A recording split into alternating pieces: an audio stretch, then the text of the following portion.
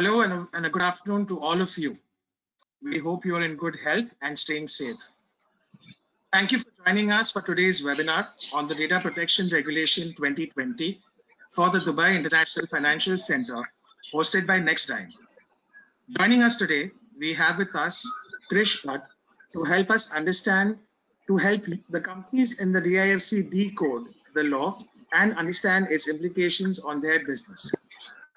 Krish has over 14 years of extensive experience working with the IT, financial, travel and tourism, logistics, media and entertainment, banking, and the poultry industry, to name a few. He is a certified information systems auditor and a certified information system security professional. Krish specializes in technology risk consulting, ERP implementations, and moderating trainings related to technology. He has handled several engagements at various international forums and is in the CSSP Speakers Bureau to help them customize web-based ERP solutions and implement Oracle Financial ERP and Tally ERP9. We welcome you, Krish, to this webinar. Before we begin, please listeners are in listen-only mode. If you have any questions, please share them in the questions box on the control panel, and we will address your queries towards the end of the webinar. We are happy to host today's webinar for all our listeners. Without any further delay, we shall now start. Over to you, Krish. So, very good afternoon to all of you all.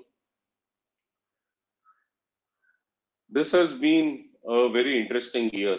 Uh, you have a pandemic that we are all walking through. Two years back, you had GDPR that got introduced.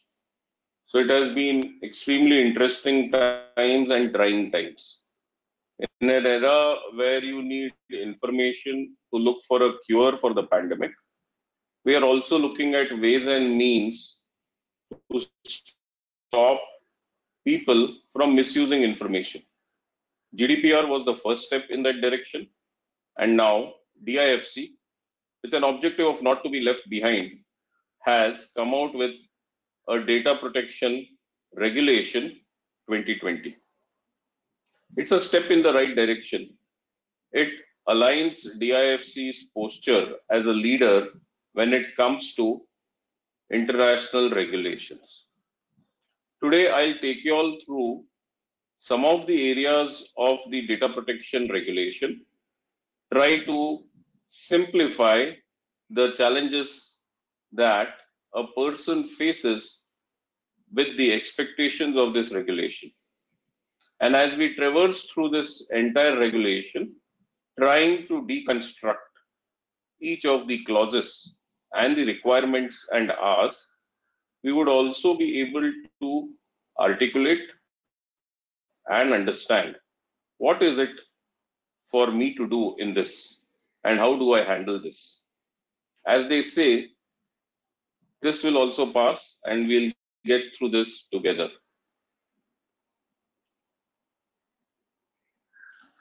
So to begin with, this regulation, if one looks at there is quite a lot of things in terms of coverage. So you have grounds of processing, you have high categorized data, you have data controller, data as subject, a few exemptions that have been thrown in. Some other aspects that people need to look at, restrictions on transfer, and some takeaways in terms of do's and don'ts. So the objective of this regulation was one, to replace the existing data protection law. Second, to align DIFC more closely with GDPR, which enhances the acceptability as DIFC becomes a bigger processing center from an European Union perspective. Export of data or information from DIFC to European states covered under GDPR and vice versa is easier and organizations find it more easy to do business. So with this objective in mind, the DIFC regulation 2020 was introduced. Now let us go to grounds of processing information. So what are the similarities of this regulation with GDPR? That is an area which we need to now look at. As I change my slide,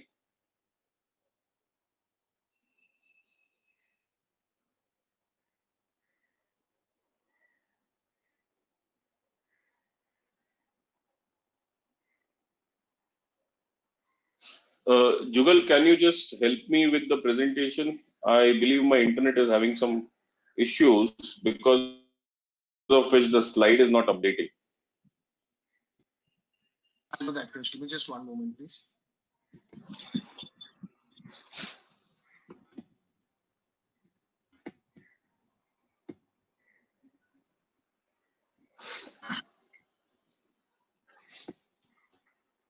So we could go to the slide on similarities with GDPR.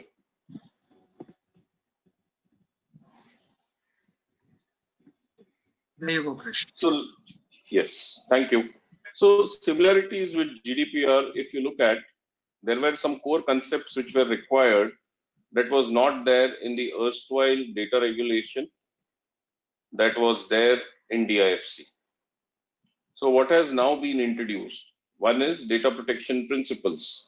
So you have data protection principles like fairness, lawful and transparent processing, purpose limitation, data minimization, accuracy, storage limitation, security, and accountability.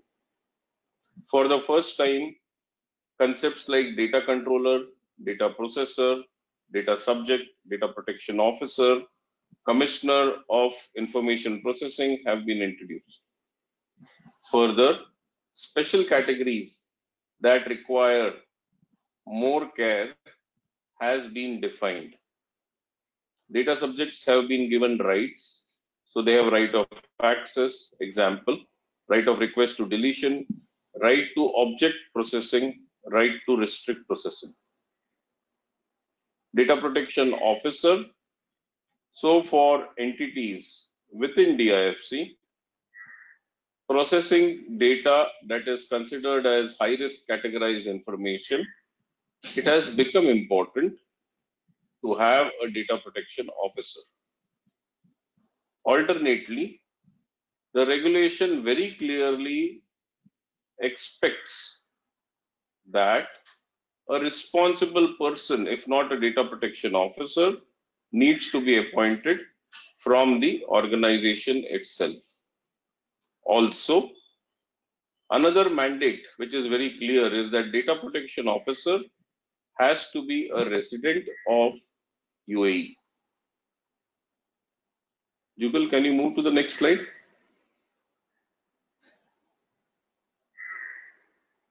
The bill.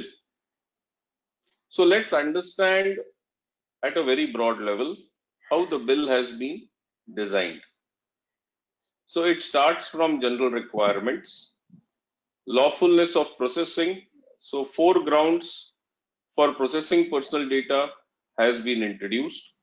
Seven rights have been offered to data subjects, 10 chapters, 65 sec sections, 53 pages, a chapter on exemptions. Four months have been defined as the date to deploy.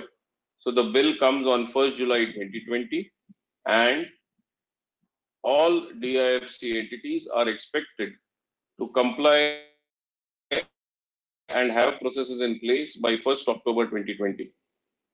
For the first time, measures to ensure transparency and establish accountability has been defined.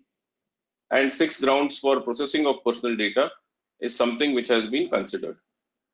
So as we understand this bill in toto, in entirety, we realize the objective was one, to align with the principles defined by GDPR. The timing was that it's been two years since GDPR as a regulation has now matured, and there are a lot of things that has brought clarity.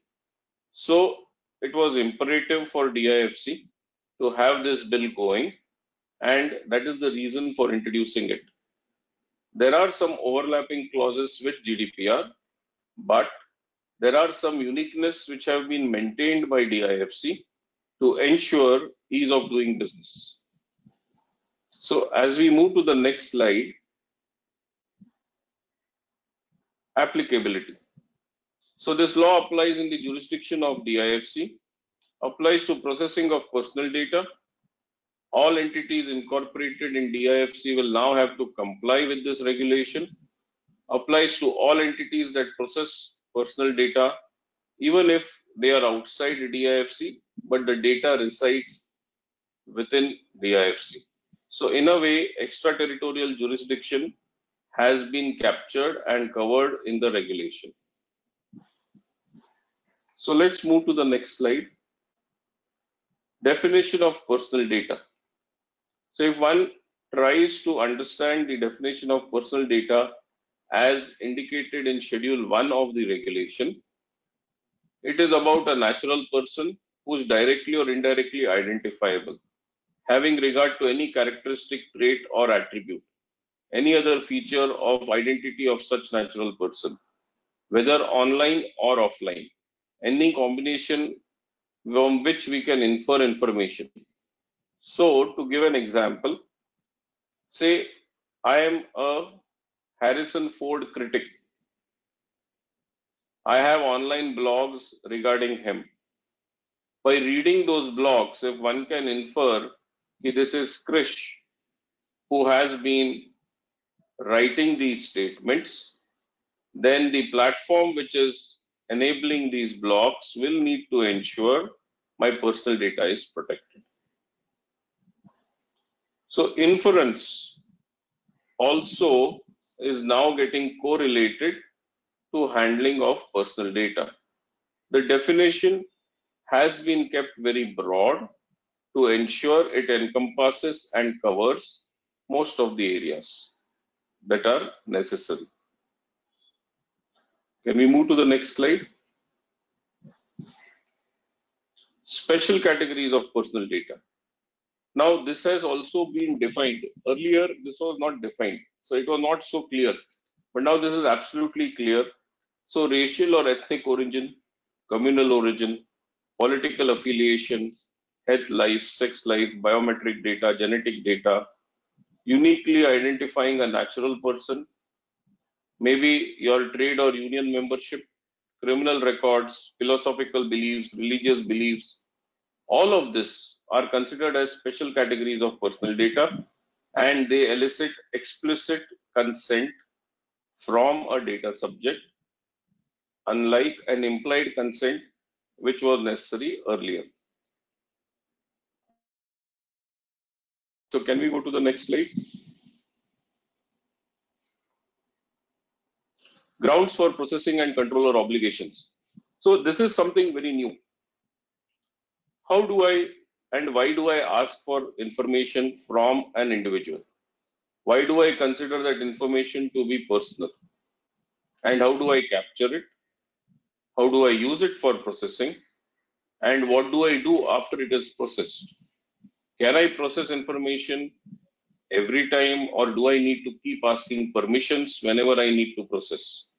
All of these questions have been very clearly aligned in Article 2A of the regulation and it's quite comprehensive. The section speaks about lawfulness of processing and further it goes to explain how do you process sensitive personal data. Primarily, there are two pillars that it talks about. One is legal grounds. So you need to process and the requirement should be for a legitimate business requirement. Second, consent needs to be obtained through lawful means. Third, purpose for which processing is sought for needs to be looked into and very clearly articulated. There are a few exceptions where information can be collected to protect the vital interests of data subject. It could be collected by the government authorities for defense of the country. It could be collected in personal interest, public interest, and it could also be a part of contractual necessity. So the way the entire article has been designed, step by step, the regulation explains very clearly why do I need to collect information? How do I process it? What are the objects for processing? What are the purpose and what are the exceptions? Similarly, Article 2B speaks about processing sensitive personal data and again very clearly articulates you need to have a valid reason for processing personal data which is sensitive in nature. Second, you need to obtain explicit consent for it. Third, you need to be aware for how long you need to use that data. In certain cases, it has gone further to elaborate that processing can be only once, and if you need to reprocess, you need a reconfirmation. So that's quite explicit and clear in the regulation. And that is one very beautiful thing of the way this entire DIFC data protection regulation has been drafted. It is quite clear in most of the areas and the expectations are also clearly laid down. Jugal, can we go to the next slide, please?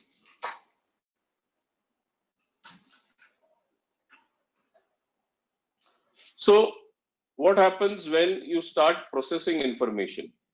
It brings you to the next question as a data controller. So let me just take a step back here. Let me first explain to you the characters that are a part of this regulation. So you have a data controller. He is the person who collects information for processing. You have a data subject.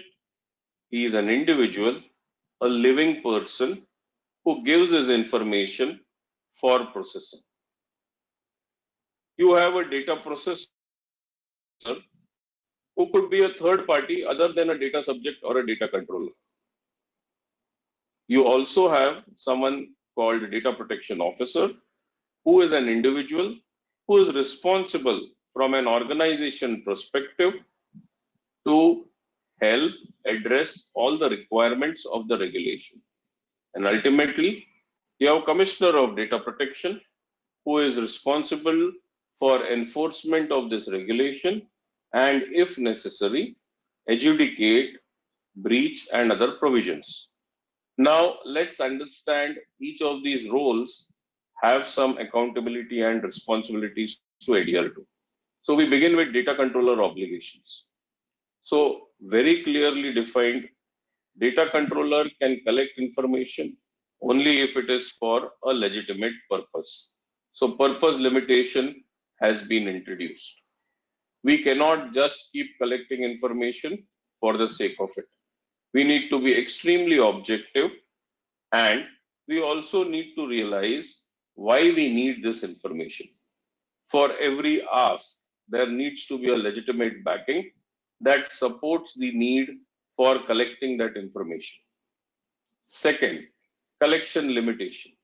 So we cannot now moving forward collect information without informing the data subject about the ways and means of collecting it. To illustrate, when GDPR got introduced, lot of websites which used to have cookies had to introduce cookie management policies. A data subject had a right to ask websites to forget them. The biggest challenge that came forth was for social media websites like Facebook and Google. Also, there were other websites which used to collect personal information that had to redesign the manner in which they solicit customer information or an individual's information, his preferences and choices. So collection limitation is a very important clause and it's something that needs to be looked into. Accountability. So one needs to understand that the information collected, one is need to be stored in a very secure manner.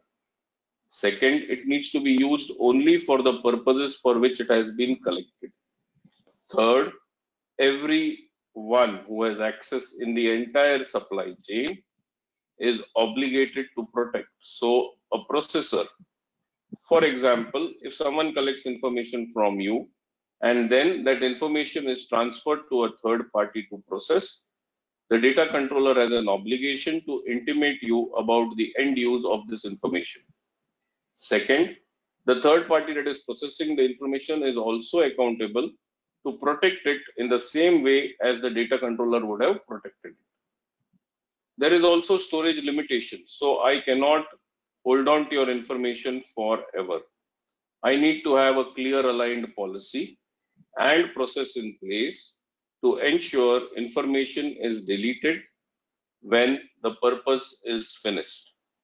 If it is collected for legal purposes, it needs to be erased when the time limit as per the regulation has been exhausted.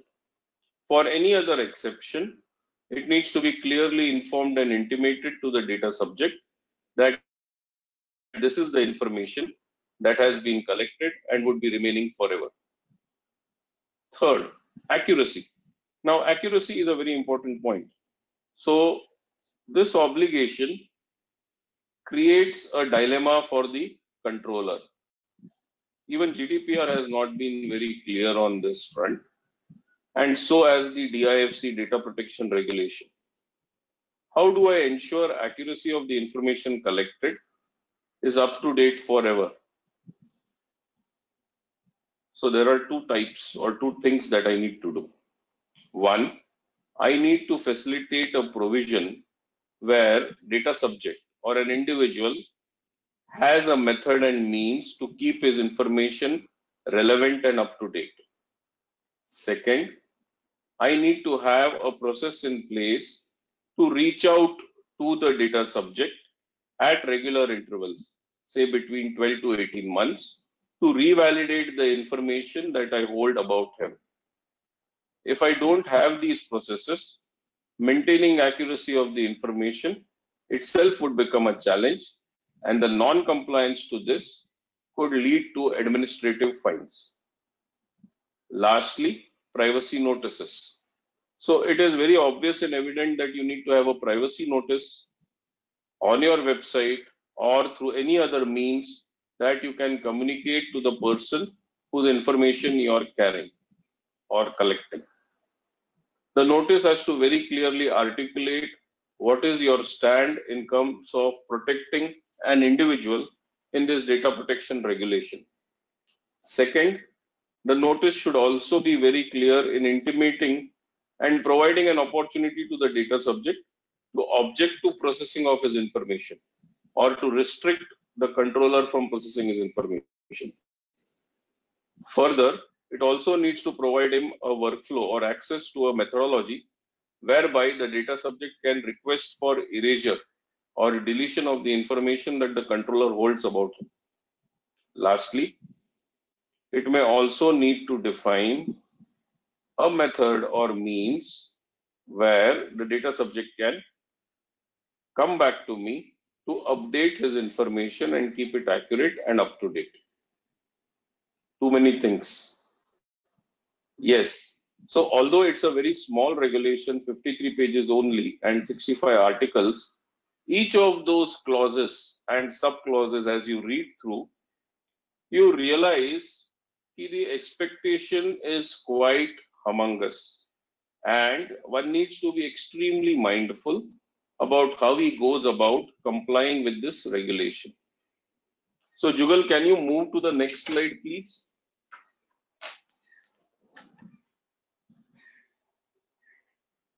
High risk categorized data. So as I said, this is a very new introduction. Earlier, this was not there in the regulation. High risk category of data. So again, a mention of this has been done in the Act. Further, definition of what constitutes to be high risk has been defined in the Schedule 1 of definitions. So high risk processing activity could be adoption of new technologies. So they have tried to address the change that comes about because of technology. profiling technology is something which is moving at a very fast pace. Analyzing a person's habit online, reviewing a person's health information. There is technology now where through artificial intelligence, a patient's scans can be analyzed using computer algorithms. This is really risky, but that's the reality of the new world that we are living in. And doctors rely on these scans to derive their results and prescribe medications.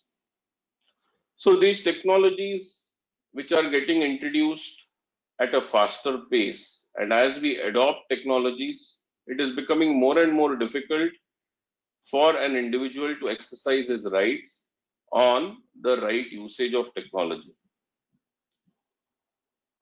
All these activities, which done with the help of technology, automated calculations and algorithms, have now been bucketed under high risk processing activity. So, in a way, the regulation is trying to give back the right to an individual where he does not realize how his information is being used. If there is considerable special category of personal data being processed, to give an example, the social media applications that you use, chatting applications that are being used, one does not understand that the conversation topic which moves on a Twitter or on a WhatsApp chat conversation now gets profiled, analyzed, and based on it, insights are being sold to advertisers and marketing agencies to profile and put forth the right kind of product to a customer or to a group of customers. Now, this was something which we were never anticipating earlier. But the pace with which technology has evolved this has only become imminent now for these things to happen. The regulation tries to control that, and by keeping it broad based and mentioning use of technology or technology methods, it tries to bring rationality to this madness. It tries to put in place a perspective where it, it becomes easier for an individual consumer to understand what is appropriate for him and what is not. Extensive evaluation of personal aspects. Example, your behavioral pattern on social media websites, your buying and purchasing habits on online e-commerce websites, your entertainment choices, your restaurant visits, your blog posts. All of this is consolidated and analyzed to profile you electronically as an individual. These things happen without your knowledge. Further, this information is shared across two companies for a value for them to understand and proposition the right kind of product or solution to you. So, what you actually realize and try to take as an informed decision is nothing but a profiled targeted product which has been put forth to you and a need is created. Gone are those days when we would make informed choices. Now you read what you're supposed to be sold. You are taken to the decisions that you're supposed to be made for profit of some entity or the other. In the online world, nothing is free. So it has a price and you need to realize that. High amount of personal data being processed by a particular platform is also going to be considered as high risk processing activity. Further, the act, the regulation has made it mandatory to have a data processing officer for organizations which are involved in high risk processing activity. They are also expected to take permission of commissioner in certain cases. High risk processing activity, if it is outsourced or if it is handled outside the DIFC, special permissions are necessary. Guidelines to that effect still to come, but clarity on in the form of FAQs as to what is high risk processing activity, what is consent, what do you mean by data subject rights, has been released in the last two days. Jugal, can you move to the next slide, please? Data controller. So data controller plays a very important role in the entire regulation. You could consider the organization to be a data controller, which collects information for various objectives. So for its employees, the information is collected for employment. From its customers, the information is collected to profile and provide the right kind of solution. From its vendors, to ensure that service is up to the mark. From its consultants, to ensure that they are reachable, contactable, and information is necessary when required.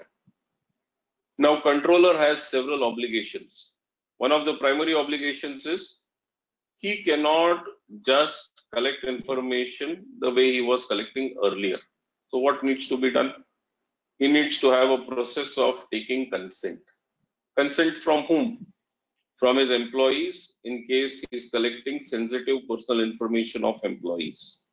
From his customers if there are some information that he takes during the course of execution of his deliveries that gives him access to personal information. From his vendors if they are involved in processing his customers' information or they are facilitating him to manage his technology. To give an example, maybe I have a third party vendor managing my server. He has administrative access to that server and that server has databases of all my customer personal information. I'm a credit rating agency. So as a part of my service delivery, I have access to a lot of personal financial information, credit worthiness of individuals. And this is sensitive. And I have a server management agency, the third party vendor, who has access to my server and administrative privileges to manage my database. So one of my key obligations would be to further percolate my accountability to my vendors. So the entire supply chain becomes accountable.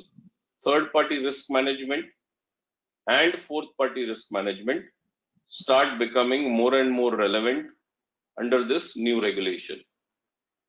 Second aspect of obligation, limitations on purpose of processing personal data. So gone are those days when I could collect information or I could say that it's okay if some additional information is available. It will be good for us for future use. From 1st July 2020, you need to realign your process to ensure you collect as much as is necessary and you don't collect something which is not required it has become more relevant and important for us to be mindful about what we are collecting and how much of it is necessary for us. Third is the collection itself. So you need to define your collection points. You need to define the attributes that go into your collection points. So collection could be for subscription to your website newsletters. Collection could be in lieu of fulfilling a legal obligation that is AML or maybe some other legal requirement. Collection could be purely for marketing purposes. You need to define your collection points. You need to define your data elements. You need to define the assets which would act as collection points. Next slide.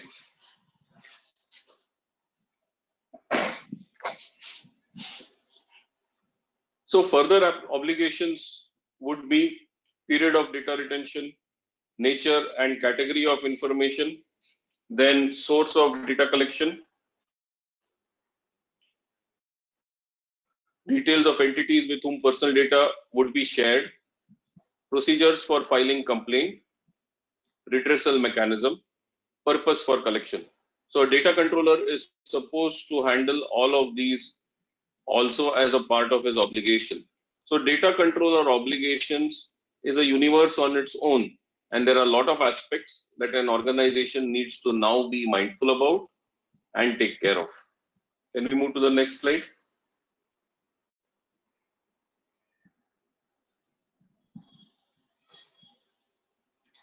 Further, after I collect the data, the journey is not over. There is more that comes in. I need to maintain the quality of personal data processed. So that is leaning from the data accuracy clause. I need to restrict on how long can I hold to the data. So data retention clause gets activated. I am accountable for the data that I hold.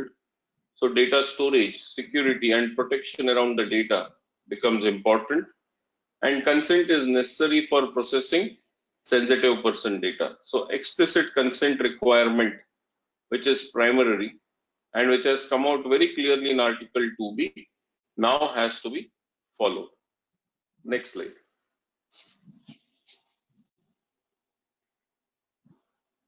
Data subject. So this is the individual whose information we are trying to protect. I would say this introduction of data subject as a concept is like giving back the rights that we had all along missed. It helps us make informed decisions now. It also helps us ask for things from a data controller and also be aware of what kind of information is getting processed. So if you look at the rights, you have right to confirm and access. You have right to correction and erasure. You have right to data portability. So now you could collect the information from a particular controller and take it in readable format and transfer it to some other controller. So you did not get stuck just because your information is non-transferable. Right to be forgotten. So you can request somebody to delete your complete information and he cannot refer to it without taking your explicit consent again. Right to be informed. So anytime there is a change in the purpose for which the information collected is being processed, you have the right to be informed about the change. And lastly, you can request for this information and also object to processing of information. You can also request to restrict processing of information. This is something really wonderful. So you can object to processing. You can object and restrict from processing. This is something which was never there.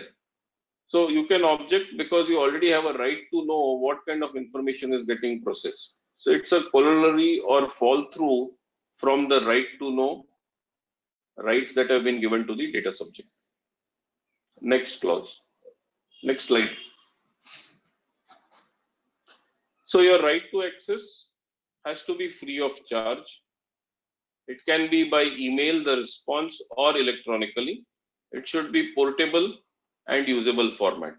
Another thing that gets added here, which I have read, is that you can also raise requests to know what information is being collected through a telephone call. And if it is sensitive personal information, then data controller needs to follow validation procedures to identify your identity validation before sharing information with you. Right to delete, so you can ask for deletion of personal information. There is some covenants that protect a data controller.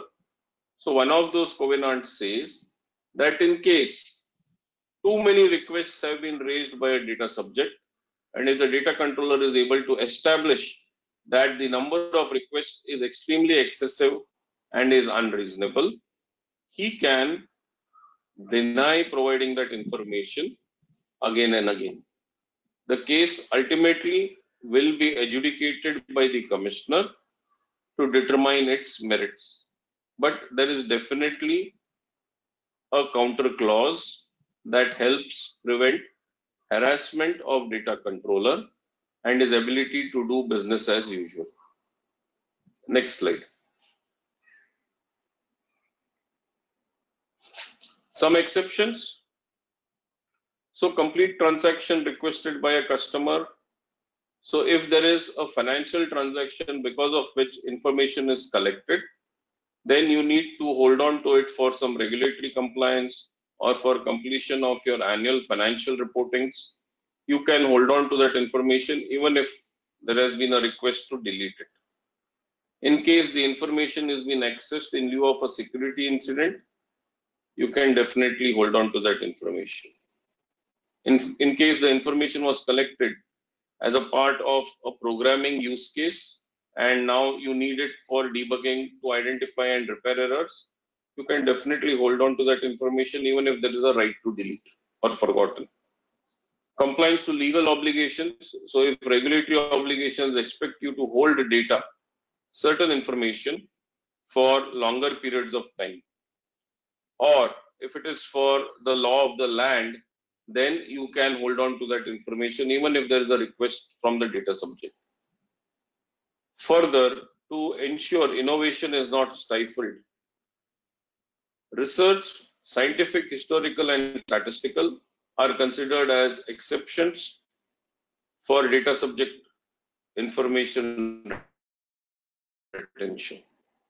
Also, for internal security purposes, defense purposes, and other obligations defined in other regulations, information can be held back even if there is a right from data subject for deletion.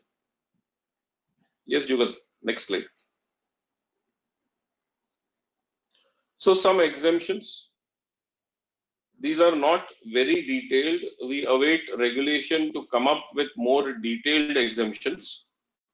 So right now, the exemptions that or exceptions that have been put forth is in case information is collected to protect members from malpractices, dishonesty, improper conduct, or if information is protected or collected in lieu of an investigation or prosecution, criminal or unlawful behavior, then you can definitely keep it with you without consent. The DIFCA board of directors may also come up with further areas which will be giving exemptions. So right now there is a chapter defined on exemptions, but there is no clear list of exemptions that have come forth. Next slide.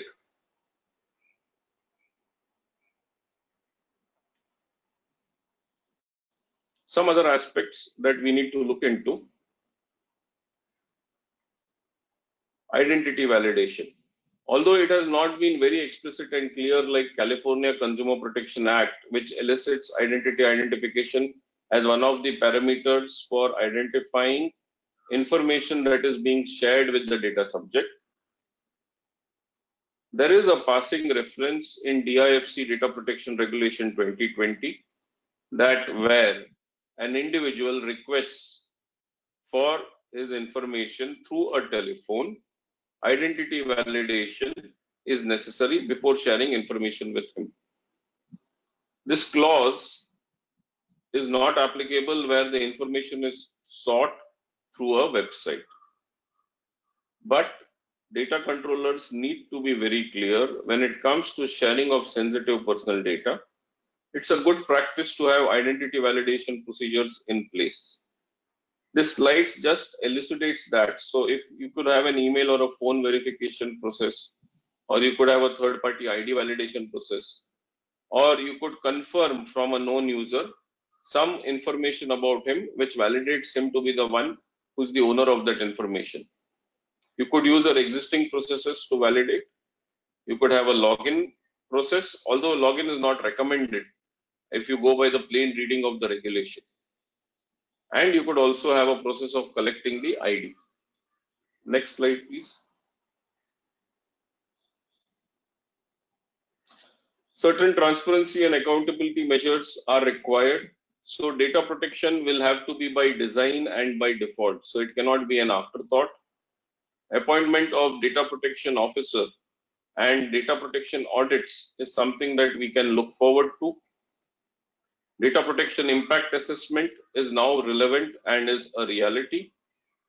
There are maintenance of records that are necessary, especially the data risk register, processing register, and several other that are required, the data flow diagram, the data flow blueprints, so on and so forth, which needs to be maintained on a regular basis.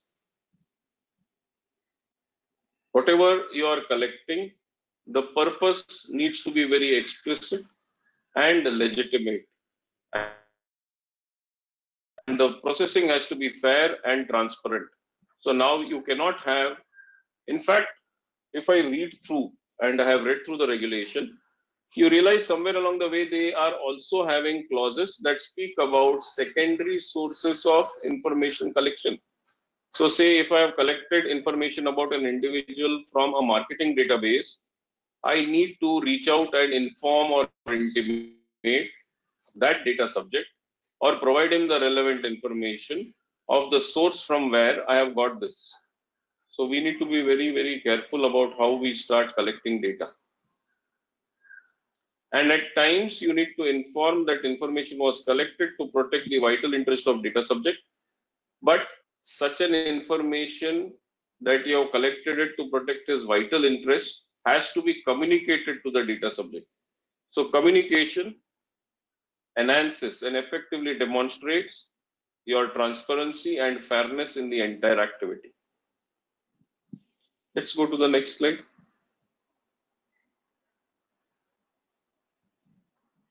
There are definitely some clauses on restriction of transfer or exports of information outside DIFC. In fact, this clause existed earlier also. In the present form, they have tried to retain the same originality, but also imbibe the good practices put forth by GDPR. So now the regulation very clearly puts out that exports to countries which have similar data protection regulations need not require any formal approval or permissions. The list of such countries would be provided in the guidance note or the guidelines issued post this regulation becoming live. And for other countries, one needs to seek permission from the commissioner and demonstrate that they have adequate mechanisms in place to protect private and personal information.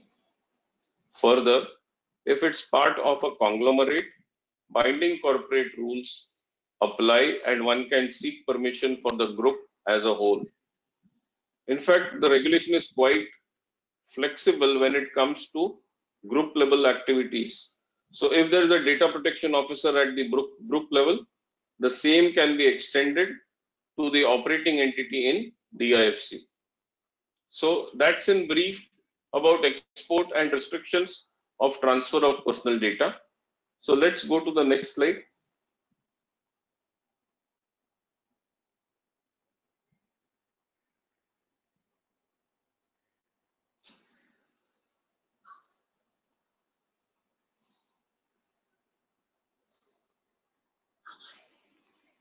So Jugal, can you move to the next slide, please?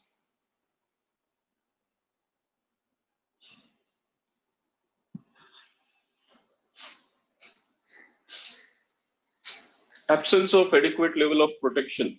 So this is just what I just spoke. See, it speaks about to which countries you can transfer personal data. So if the countries do not have the safeguard and remedies that are required under the regulation, or there is no certification mechanism, then or the transfer does not discharge functions, or there are no pre-contractual measures, then these are considered as serious defaults under the regulation. So one needs to start looking at putting this in place, especially remedies for data subject, redressal, and access to his rights. Continue to the next slide, please. So a commissioner for data protection is going to be appointed by the king. He needs to have the specified time period not exceeding five years and he may be reappointed beyond that period only up to the age of 75 years. So the commissioner would be the one who would be responsible for enforcement of this regulation and he needs to ensure for the smooth operation of this regulation in a timely manner introduce guidelines and guidance notes to help effectively roll out the regulation. Next slide. Penalties. Something very, very interesting and different about penalties in this regulation. They have taken a leaf out of DIFC to have administrative fines which are quite exorbitant. In case of data subject rights not being addressed, you have administrative fines which can go up to USD $100,000. Besides that, the data subject will have a recourse to go to the court of law and seek additional damages and compensation. Further, the commissioner has a right to adjudicate and decide upon the fines over and above the administrative fines. So data subject rights has been given lot of importance.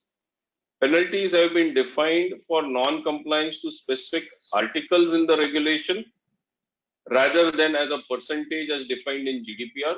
So it becomes very well defined and specific.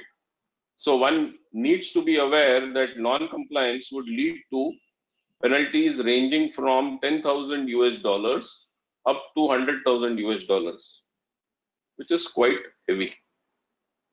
The bill also further says in case of serious offenses, it would be handed over to the penal code, UAE penal code, where a data controller could also face imprisonment and other kind of liabilities due to non-compliance. So it becomes a little more stricter and that is why organizations need to take this seriously and have controls in place to handle data subject requests and processing of information. So I think that is bringing us to the end. Uh, Jugal, can you go to the next slide, please? So the way forward that we usually recommend to people and in places where these regulations have been introduced globally, starting with GDPR, then California Consumer Protection Act, Singapore PDPA, or LGPD, or Thailand Data Protection Act, is that one is you invest in the right kind of consultant or right kind of advisor who can help you traverse through this regulation. Since penalties are very high and there is a lot of work to be done in terms of bringing you up to scale, it would be better to use an expert rather than experiment on your own. You need to maintain your global data risk registers. So you need a platform or you need a proper documentation to be in order. Privacy impact assessments would become the need of the hour. You need to have a proper data breach incident management system in place. One needs to start getting ready with data protection audits, which could be ordered by the commissioner, or in case of organizations which do high risk processing by the data protection officer himself. The act or regulation does speak about accreditation and certification, but as of now, there has been no indication how that would be rolled out. As and when they come up, probably we would have guidance on the same. So with these small thoughts, I park myself and I open up the forum for questions.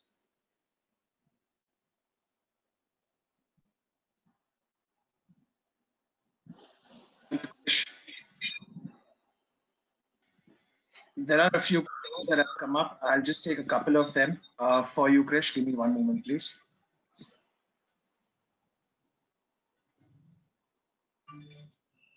All right. Question that we have, Krish, uh, says if there is a breach in any of the company documents, then how do we go about tackling that? Uh, so it was more like if there's a non-compliance in the way I maintain my processing registers, how do I go about tackling that if I understand and capture the question correctly? So if you have not been up to the mark in maintaining your registers, there is a lawful processing and expectation of what data records you need to keep under the regulation.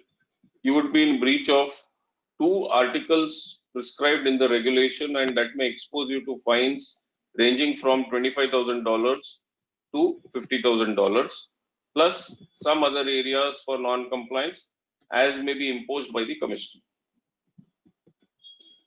So first step, you need to hire a consultant or you need to start looking at how you need to fix it. So maybe a gap or an as-is assessment would be recommended. Based on the inputs or outcomes of that assessment, you could take it to the next step of putting in or filling in the blanks and establishing a baseline. Third, have a process in place to incorporate this as a part of your business process itself. That means every time you sign up a new contract, you need to incorporate that you update it in your processing register. You define the collection points. You also identify the attributes of the data that you are collecting.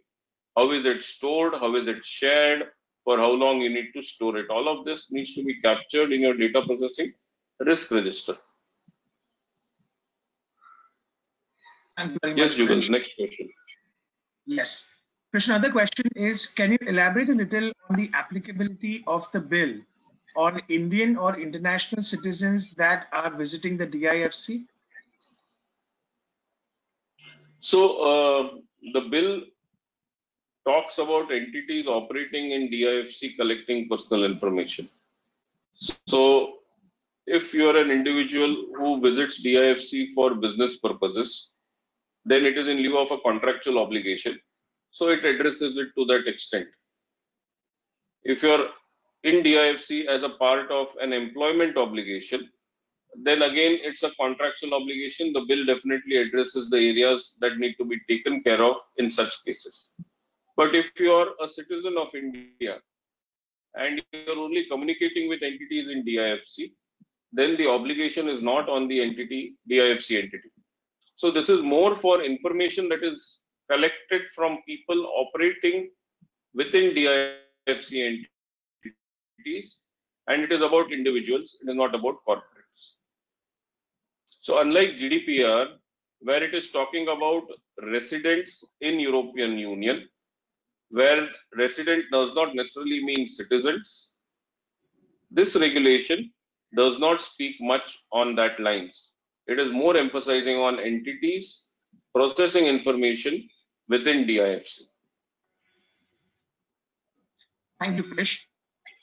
Krish, we have one more question. I think this is a combination of multiple questions. I allow you to break it the way you feel relevant. The first part is what happens to data entered on government sites? Is the government also liable for this particular law? And how do we communicate this to our clients and to our partners? And the second part of the question is, is there a standard template for consent available from companies in the DIFC for collecting data? Okay. Two parts. One, information collected for lawful processing or lawful reasons. So if there is a legal requirement for you to collect information. So when you say government websites, it's a legal regulatory requirement. Consent is not required in such cases. So there is an exception which has been defined in the regulation itself. So where information is collected for purposes of abiding with a regulation or law of the land, or if information is collected for protecting the vital interests of individual citizens, or information is collected by individuals, they are not covered under this act. So it is exemption. Further, if information is collected for scientific or research purposes, again consent is not required. So that was first part of the question. Jugal, can you repeat the second part, please? The second part of the question, Krish, is how can we communicate with clients and partners?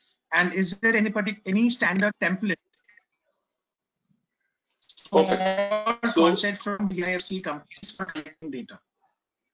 So there is no standard template for obtaining consent, but if one does a fine reading of the regulation, it talks about some areas that the consent form should have. One is purpose. So purpose has to be very clearly articulated. Second, how the processing is going to take place. Third, for how long the processing is going to take place and for how long I need this information. So if you're able to communicate these three things and further give information about who is responsible, how to reach out to the organization in case you want to update or request for information, I think your consent is complete. One needs to communicate that to both customers, vendors, and customers, and to third party consultants, so on and so forth. But when you communicate, you could communicate through your website. So you could have a privacy policy on your website, which provides clear links to other areas.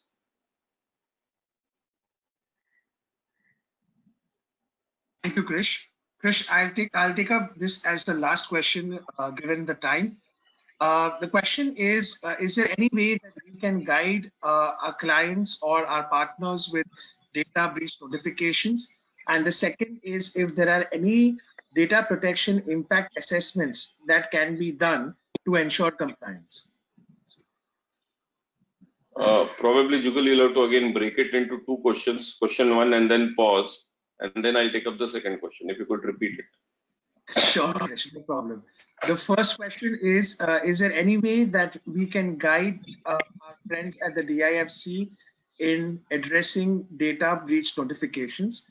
That is the first part of the question. The second part is, are there any assessments that we can potentially provide to ensure smooth impact of these particular assessments? So uh, data breach identification and notification could be an activity where we can advise and definitely support organizations by setting up an incident management process in place, having an appropriate workflow to help organizations identify and once identified, handle the data breach in a manner where they are able to notify in the earliest possible time. So this regulation, unlike GDPR, does not prescribe 72 hours to be the upper limit for reporting. But it does say that data breach notifications have to be intimated to the commissioner. And in case the impact of the breach is severe and the data subject is going to suffer then we also need to further intimate to the data subject. Having a process we can advise organizations on how to set up the process either electronically or manually depending on their budgetary constraints. That is first part second part of the question data protection impact assessments, definitely uh, we have the wherewithal to do that. And we have tools that we use to get this done electronically. So we have a proper data discovery and other aspects that captures the attributes, the assets, the location of the assets, the entire life cycle of the data that is getting percolated and moved, and also the impact in case any of these components in the entire cycle gets breached. So I hope I have addressed both the questions. I hope so too. Thank you very much, Krish. All right, this brings us to the end of today's session. Once again, thank you to all our participants for your time. We hope you've been able to draw a great amount of insights and information from this session. For those who have any specific query, do send it us do send it to us at thinknext at nexdigm.com and we will get back to you as soon as we can. Thank you once again, everyone, for joining in. From all of us, Nexdigm, stay healthy and stay safe. Thank you, everyone, and thank you, Krish. Thank you.